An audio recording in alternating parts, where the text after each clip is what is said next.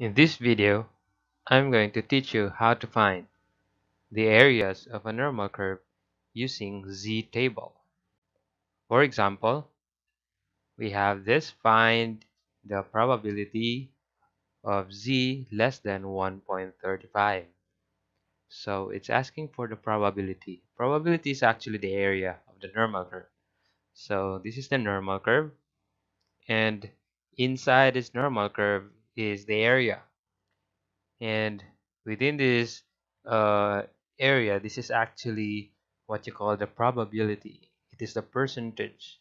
Of course the highest percentage is 100 so that means the whole area of this normal curve is equivalent to 1 because 100% serves as 1 in decimal. And if it's 0.8 then that means it's 80% and so on. So the area here is uh, a total of 1 and if you're gonna cut it exactly in the middle of 0 so the other at the left is 0.5 or 50% and the other at the right is 0.5 and so we're gonna find the z less than 1.35 so we're gonna locate 1.35 it's around here. So this is 1.35 I'm gonna mark a line and since it's less than so we're going to find this area. So what is the area of this uh, normal curve this part of the normal curve? And so we're gonna use um, uh, let's cut first this part. So we know that this is 0.5 and and we only need to know this because it's gonna be 0.5 plus that part and how will we know that this part at the right side of 0 we will know that using a z table. So before before uh, the z table uh, came out uh, people try uh, um, usually solve using integration using calculus to find the area of the of the that part. But then uh, we already have the z table to make it easier and we don't need to do integration or calculus to get the area because it's already there in the table. And so let's just follow the table and you you only need to understand how to use it. There are two kinds of z-table a z-table coming from the left going to the right but it is not the zero the z-table that we are using. We are using the other z-table which is coming from 0 to z meaning the, the the area that is given in the z-table is coming from the middle going to either right or going to the left. So I, I prefer to use this kind of z table because it's only one uh, it's, it's only few uh, compared to the other z table from left to right. It is having a lot of numbers. It has negative it has positive and in this case it's only one. It's only positive. Why it's only one? Because uh, the area at the right and at the left of zero is just the same it's gonna be the same distance. So that's why it's gonna be fewer numbers to look at. So anyway let me teach you how to use it. So our num our value is 1.35 so we're gonna look for 1.3 so it's around here. 1.3 at the at the left side uh, at the, the vertical column. And then we have 5 because it's 1.35 so we're gonna look for 0.05 so so all in all it's 1.35 so and the row and the the row is 1.3 and the column is 0.05 so that's a total of 1.35 and the area for this part is 0.4115 that's according to the z table. So the probability that z is less than 1.35 is equal to the 0.5 that's half of the z of the normal curve plus the 0.4115 that's the area between 0 and 1.35 which is equal to 0.9115 and that is the area that we are looking for. Now let's take another example. Let's say we're gonna find the probability that z is greater than 2.18 so let's have the normal curve. And I'm gonna plot the 2.18 so it's around here more than 2 2.18 so we can actually estimate you don't need to find the exact location.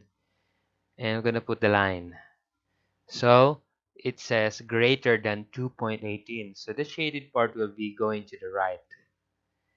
So that's the area that we are looking for and then we're gonna put the line for zero because our z table is coming from zero. So unfortunately there is no z table coming from right going to 2.18 that makes it easier. So we cannot have that because we don't have that kind of z table. And what I am teaching you is the kind of z table coming from the center. And so we're gonna look for this because this is the, the area that is from the z table and we will use that to find the area the shaded area. And let's use the z table. We're gonna look for 2.18 so first we will look for the row 2.1 so it's here and then the 0.08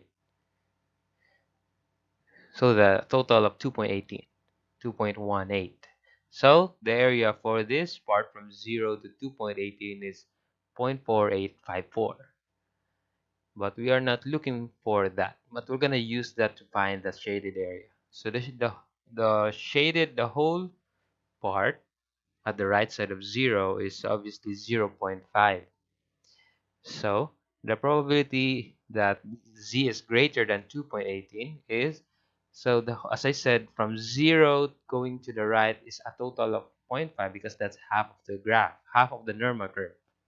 Then we're going to subtract 0.4854 because we, we will not include that. Uh, that's not part of the shaded part, so we're going to remove it from the 0 0.5, 0.4854. And what's left is the shaded part.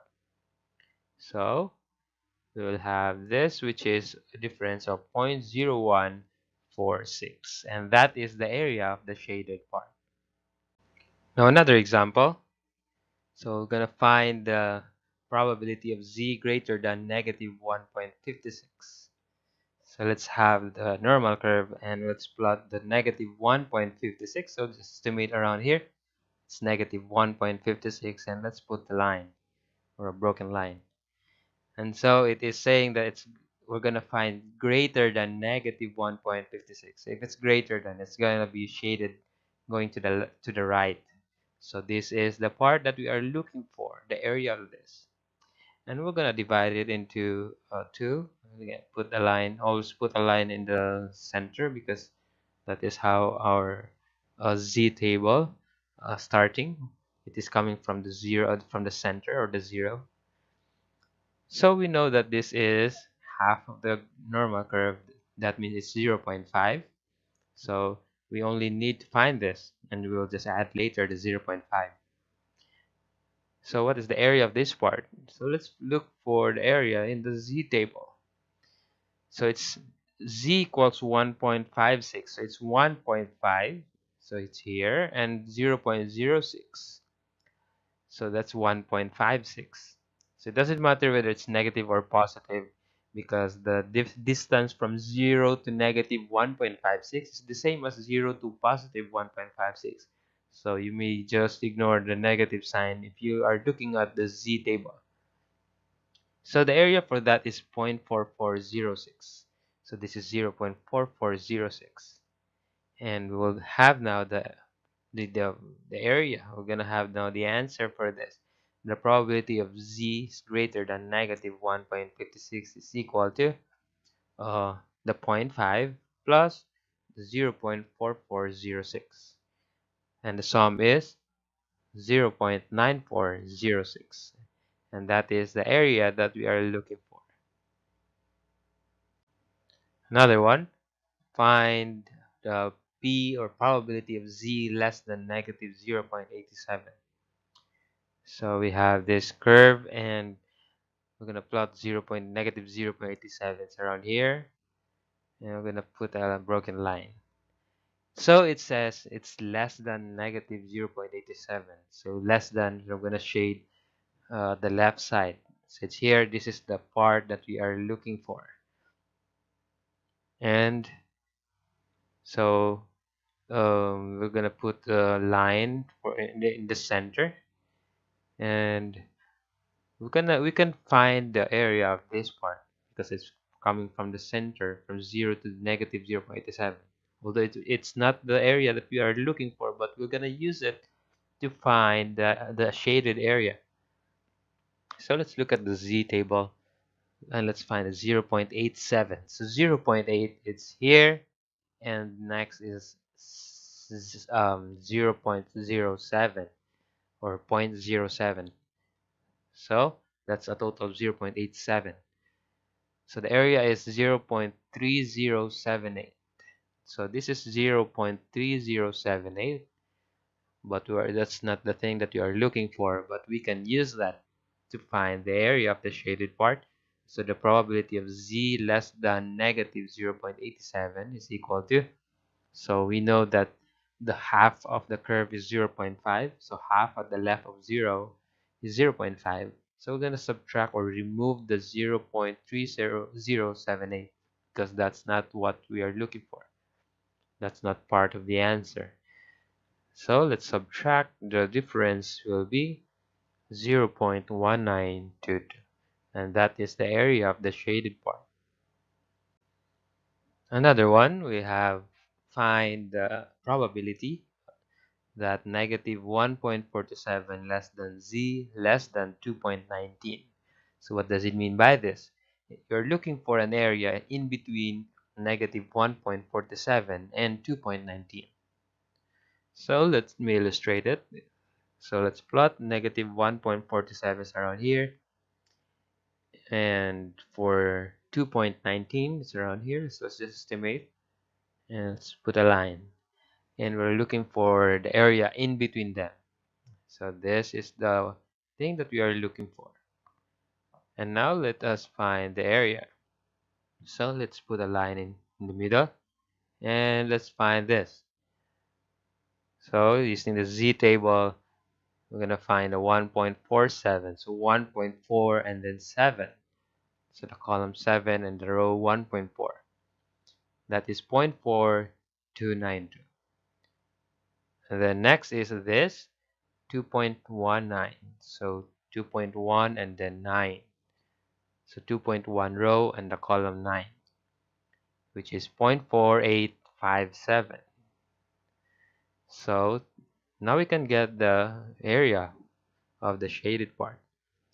So the probability in between negative 1.47 and 2.19 is equal to the sum of 0.4292 and 0.4857 so let's get let us add this it will be a, having a sum of 0.9149 so that is the area of the shaded part let's have another example we have find b um, in between negative 2.58 and negative 1.36. So let us illustrate it first. We have negative 2.58. So let's just estimate it's around here. Negative 2.58 and also negative 1.36. It's around here. So we're to find in between them. So we're to shade it. And then we are going to, uh, how can we find the area? So let us find this area first, the whole from 0 to negative 2.58 using the z table negative 2 uh 2.5 is here and 8 so that's an area of 0.4951 so that's the whole area from 0 going to 2.58 including the one that is not shaded. Now the unshaded part this we can find the area of that using the z table from 0 to 1.36 so that is 1.3 and 6 so 0.4131 so that's an area of 0.4131 which is the unshaded part. So why do we need to know the area of the unshaded part? It is because we want to remove that from the 0.4951 because that is part of the area of 0.4951 the shaded part and the unshaded part. So we want to remove it. So now let us solve. So if you say remove we're going to subtract 0.4951 minus 0.4131 so the difference will be 0.082 so that is the area of the shaded part. Now you might ask how come it is minus and the other previous one is plus where they are both the same in between? When you compare it to the other to the previous example as you remember the in the illustration the zero is in between them. That's why we add. So that's a hint for you. When the, it's in between and the zero is in between them that means you're gonna add them. But if zero is not a part of the shaded part it's not in within the shaded part then you're gonna subtract. So that's uh, a clue or a hint when to add or when to subtract. So let's have our last example find the p where z is greater than 3.78 so let us plot it in our normal curve. 3.78 so it's around here 3 point something 3.78 and let's put a, a line. So it says greater than 3.78 so if you say greater than so the shaded part will be will be at the right side. I don't know if you can see the the shaded part is very very small.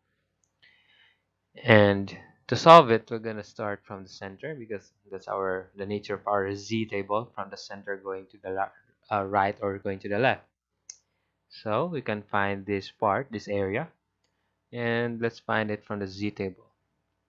Now let's look at 3.78 notice that our last row is only up to 3.6 so specifically up to 3.69 so what is now the value or the area of 3.78 so beyond the z table beyond 3.69 will always be 0.4999 which is the same as the last area 3.69 0.4999 and it's always like that when it's beyond the z table. So we can solve now for the area.